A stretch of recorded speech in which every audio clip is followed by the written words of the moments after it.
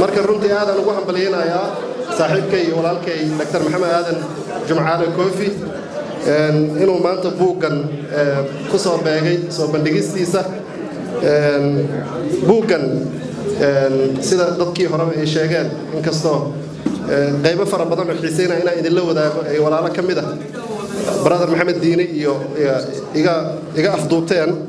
Oo meelihii aan sii calaamadaystoon islaa dadka aad u akhri sida ayagu akhriyaan. Haddana waxaan rabaa inaan taabto xubin aan is leeyahay muhiim ay buug u tahay maadaama dadkii hore ay ka hadleen dhibaatada ambiya gaadhay dhibaatada dumarka soomaaliyeed ka soo gaartay duruufaha iyo dagaalada iyo dhibaatada.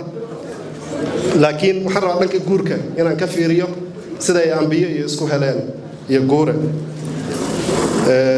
Waayadan dambe yacni guurka waxyaabaha lagu xusho gabdhaha lagu guursado ama gabdhuhu ay ragga ku xushaan maadaama hadda laysla ekaaday oo waagii bahasha ay dhinaca ka rarnayd aysan ahayn haddana waa wax aada isugu dhow. Waayadan dambe ambiyo waxay gabar aada u qurux badan oo miyuu ku dhalatay ku kortay xoolo raac ah aabbaheed iyo hooyadeedba keligeed ay gabar ka dhaleen. Waxaa tartan u galay rag aada u fara badan oo deegaanka balanballe ku noolaa waana hollin waayeen maalinkii dambe ay hooyadeed la wadaagtay in arigii subax walba weerar lagu yahay casirkii markay ariga soo meeracdo ay soo xaraynaysa in weerar lagu yahay in su'aalo aada u fara badan aysan jawaab u heli karin la weydiinayo. Marka hooyadii baa dareentay inay gabadhii gashaantir noqotay guurgal noqotay rag fara badanna ay u tartamayaan. Marka waxaan rabaa qayb yar inaan idiin akhriyo oo hooyo asli siciid iyo gabadheeda dhex maray. Boggii baan soo qaban la'ahay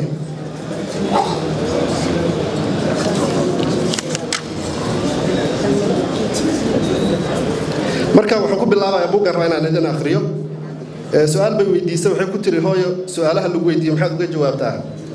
Waxay ugu jawaabtay inay su'aal walba siiso jawaabta ku habboon. Haddii lagu weydiiyo ma sheekaysan karnaa? Maxaad ugu jawaabtaa? Ayay hooyo asli ku celisay gabadheeda. Wakhti uma hayo ayaan ugu jawaabaa. Ambiyo ayaa hooyadeed intaa ugu jawaabtay. Hooyo asli oo garatay inaysan gabadheedu baylah ahayn aysanna dayacnayn kuna qanacsan jawaabaheeda ayaa bilowday inay talooyin siiso ambiyo naaheedhe ragga waa lagu dhex jiraaye isha ku badi oo kala saar oo kaadsiga ka eeg oo kelmadda ka eeg oo kurankuraha ka eeg oo korkoo dhan ka eeg oo joogga ka eeg.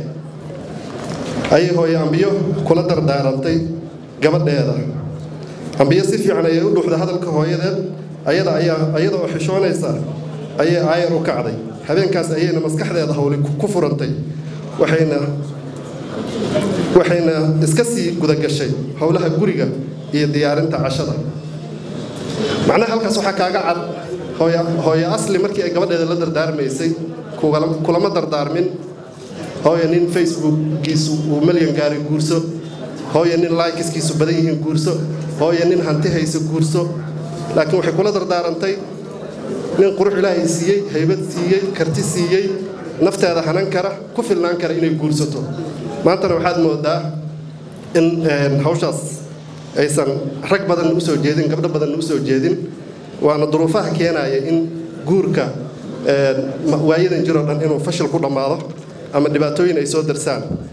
Waxaan u soo noqonayaa anigu hadda waxaan ka filaayey walaalkay dr cofi waxyaabaha laga filan kara waxaa ka mid ahaa cofi waa nin macallinnimo noloshiisa ay ku bilaabatay oo dugsiyada sare macallin ka ahaa oo kadib ciidamada qalabka sida ku biiray oo sarkaal ciidanka xoogga dalka noqday oo sarkaal sirdoona noqday oo taliyaha sirdoonka ee gobolka banaadir noqday oo madaxa hay'adda socdaalka noqday.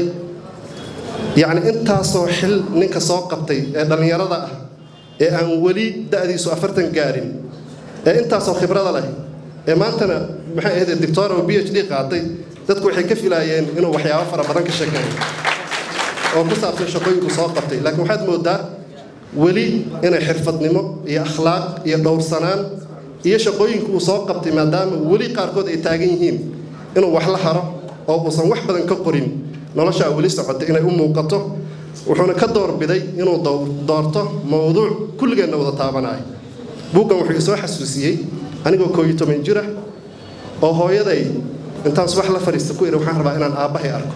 Oo iigu dambaysay anigoo shan jira. Safar dheeraan u galay aabbaan u tegey. Aabba markaan laba bilood la noolaa waxaa geeriyootay xaaskiisa. Waxay noqotay inaan dib u soo noqdo. Markii xaaska aabba geeriyootay oon hooyo ku soo laabto. Intaan dhex ku soo jiray waxa ay qabsatay deertii biyaha badnayd. Waxaana go'doon ku noqday meel cidlo ah muddo afar bilood ah oo aanan tol haysan oo aanan walaal haysan oo aanan ehel haysan. Marka waxaad ka garan kartaa buuggan qof walba oo akhriya wuxuu ka dhex arki karaa sida dadkii ugu horreeyey ay sheegeen. Noloshooda ka dhex arki karaan. Waxaan biyodhaca hadalkaygu u socdaa. Koofi wuxuu la soo shaqeeyey saddex madaxweyne oo saddex maamul oo kala duwan kala hogaamiyey wuxuu la soo shaqeeyey sideed ra'iisul wasaare. Masaarida waxay dhahdaa walaalkay xasan qorana xagga iiga muuqdeen qofka markuu afartan jir asagoo ka weyn b h d diyaariyo way ku durtaa. Walaalkay asagoo afartan sano ka yar yuu b h d diyaariyey. Ninka intaasoo khibrada leh intaasoo madaxweyne la soo shaqeeyey intaasoo ra'iisul wasaare la soo shaqeeyey intaas taliyo ciidan iyo surdoon la soo shaqeeyey inuu horta maanta waddankiisa ambad ka ahaada sax ma ahayn. Sax ma ahayn waxay ahayd khibraddiisa inuu dalka ugu shaqeeyo. Anigoo taa ka duulaaya inkastoo madashu aysan mada siyaasad ahayn mowduucana buugga iyo sheekadiisu uusan siyaasad ku saabsanayn. Waxaan halkan isugu nimidna aysan siyaasad ahayn. Haddana waxaa jira xadiis laga wariyey suubanaheenna sala allahu calayhi wasalam man ra'aa minkum munkaran falyuqayir biyadih fain lam yastadic fa bilisaani fain lam yastadic fa biqalbihi marka haddaanan xitaa tabar ku taakulayn karin walaalkeen dulmiga loo geysanaya inaan fiirsano runtii oon ka aamusno waa waxaan noo cuntamin.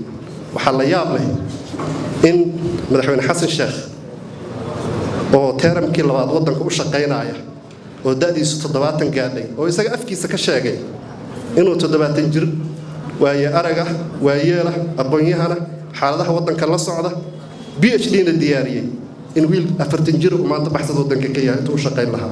Intuu waddanka lagu adan waxaa taa ka sii daran waxaa jirta muddo hadda siddeed sano ka hor laga joogaan macallin saxaafadeed ahaa oo soomaaliya oo dhan min hargeysa ilaa meesha ugu dambaysa aan wariyaal ku tababarnay. Yacnii qofka wariyaha ah ee mikrofoonka maanta wata wuxuu ka waxyeella badan yahay qofka dhakhtarka ah ee xarun u furanta. Wuxuuna uga waxyeella badan yahay qofka dhakhtarka ah wuxuu dili karaa qofkii u taga oo xaruntiisa ku booqda oo caafimaad weydiista oo talo ugu taga. Laakiin qofka wariyaha ah wuxuu dhibaatayn karaa ama qofka xirfadlaha ah ee xirfadiisu ay taabanayso wax dan guuda ama mu'asasooyinka dalka ka shaqeeya ah waxay taabanaysaa nolosha dadka soomaaliyeed oo dhan.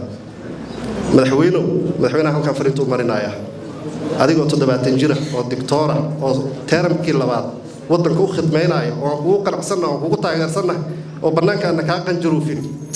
Maalinkaad dhakhtar u baahatayn inaad dhakhtar takhasusa raadsato. Markii shaqo dowladda loo bilaabayna loo baahday in qof loo dhiibana wiil wariye ah oo idaacad fm xamar ku dhaxaysta oo aan weligii hanti dhowr ka shaqaynin oo aan weligii meel dhaqaale looga shaqayna arkin inaad intaa u dhiibta dhahda koofi soo xir yani wax la qaadan kara maaha qofkii shalay idaacadda dadka ku baadaya haddana aqoonta shaqada loo dhiiba aan lahayn see looga aamini karaa maanta inuu uu dacwad ku soo ogo nin intaan soo sheegay oo tilmaamo ah leh. Markaan waxaan is leeyahay madaxweynaha weli talaa la gudboon. Welina wakhtigu wax ku sixi karu haystaa madaxweynow jagooyinka iyo xilalka danta guud loogu khidmaynaya uu xafiiskaa ka mid yahay. Waxay u baahantaa dadka karti aqoon u leh dadka ay dacwada ku oogayaanna waa in wax mandaqi ah oo la filan karo oo haddii maxkamad lagu geeyo lagu heli karo inay noqdaan. Laakiin sidii maalin hore maxkamadaha gobolka banaadir ka dhacay in dadkii la yidhahdo wax dambi aan laydinma haysta iska dareera. Sumcaddoodana la baabi'iyo. Wax saxa ma aha.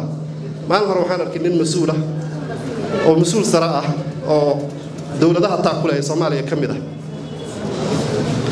Waxaan ku yidhi lacagtii dowladda aad ku kabayseen maxaa uga goosateen? Wuxuu yidhi waxaan u goosannay.